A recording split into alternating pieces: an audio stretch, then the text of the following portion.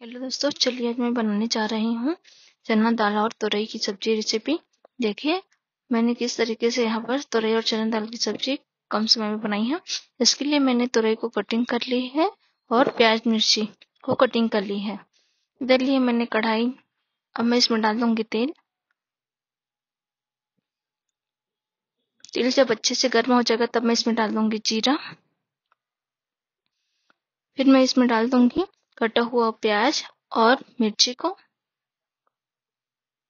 जब जीरा अच्छे से तड़क जाएगा तो देखिए इस तरीके से प्याज, मिर्ची को डाल करके इसको चम्मच की मदद से चम्मच चलाते हुए अच्छे से फ्राई करेंगे। देखिए, अब चम्मच चलाते इसको अच्छे से फ्राई कर लेंगे।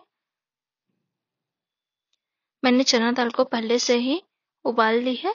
मैंने कुकर में चार सीटी देकर उबाली हूँ, जो कि चना दाल बड़ा साइज़ है, इसलिए चार सीटी, अगर चना दाल का साइज़ अगर छोटा है तो तीन सीटी देकर कुकर में उबाल ले, या फिर आप पहले से भिंगो के भी रख सकते हैं। देखिए इस तरीके से प्याज मिर्ची को अच्छे से फ्राई कर लेंगे। फिर मैंने टमाटर को कटिंग करके रख दी है। देखिए जब वही अच्छे से भुंजा जाएगा तो मैं इसमें डाल दूँगी टमाटर, और चम्मच चलाकर टमाटर को भी अच्छे से पकने देंगे। देखिए, इस तरीके से चम्मच लाएँगे और टमाटर को अच्छे से पकने देंगे। बीच बीच में चम्मच लाते हुए टमाटर को पका लेंगे। जब ये टमाटर हल्का पक जाएगा तो मैं इसमें ऐड कर दूँगी स्वाद अनुसार नमक। देखिए, टमाटर अच्छे से पक गया है, इस तरीके से। तो ऐड कर देंगे स्वाद अनुसार नमक। धनिया पाउडर।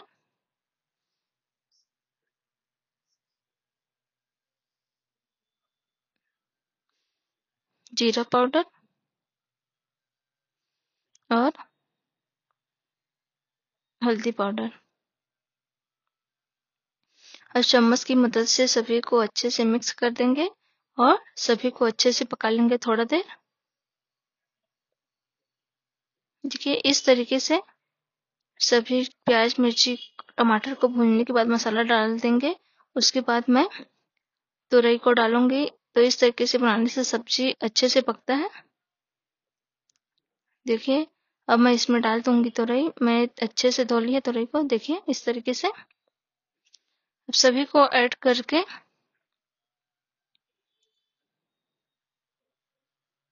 चम्मच चला देंगे। देखिए, इस तरीके से अब मैं इसमें चम्मच चला दूँगी और सभी को अच्छे से मिक्स कर दूँगी।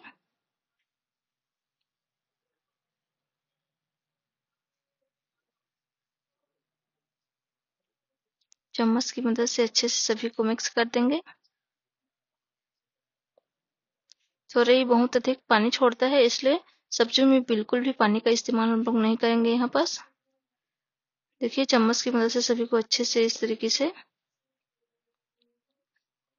मिक्स कर देंगे और इसको मैं ढक करके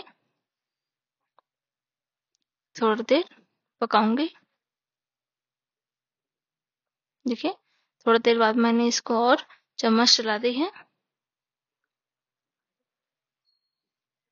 अब इसे ढक दूँगी और पकने दूँगी और फ्लेम को हाई कर लेंगे क्योंकि इसको पकने में टाइम लगता है और पानी बहुत अधिक छोड़ता है। देखिए, इस तरीके से सब्ज़ी अच्छे से पानी छोड़ना शुरू कर दिया है। तो एक दो बार और बीच बीच में चम्मच चलाते हुए इसको ढक करके हम अच्छे से पका लेंगे।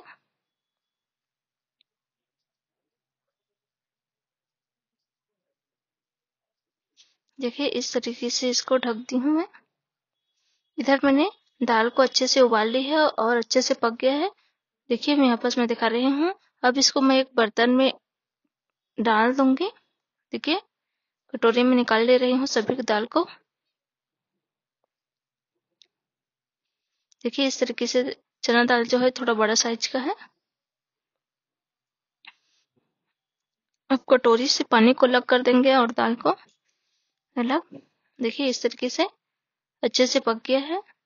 फिर बीच में अब चेक कर लेंगे, जो तो रही है, इस तरीके से अच्छे से पकना शुरू हो गया है। और जो पानी भी है, कौन, पानी की क्वांटिटी भी अब कम होते जा रहा है, पकने, पकते जा रहा है तो इस प्रकार से चम्मच डालेंगे। फिर मैं इसमें ऐड कर दूँगी चना दाल को।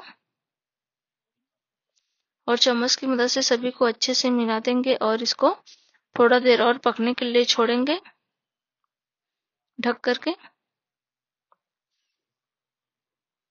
देखिए, इस तरीके से अच्छे से मिक्स कर देंगे और इसको ढक करके मैं अच्छे से पका लूँगी जब तक कि सब्ज़ी में रसा कम ना हो जाए।